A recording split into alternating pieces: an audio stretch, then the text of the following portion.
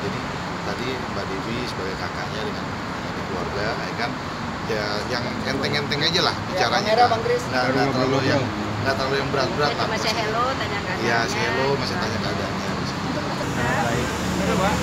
ini Sangat baik. Yang pasti kan uh, apa, Rido nih kan? Perokok aja enggak? Iya, yang pasti Rido ini kan bukan perokok yang aktif, bukan uh, peminum, bukan apa dan sebagainya. gitu. yang jelas dia korban lah bisa komen apa apa gitu oh, saya juga masih stop Iya, sama Soal aja. negasi aja. itu aja ya. Kalau Oke, oke, baik, terima kasih ya.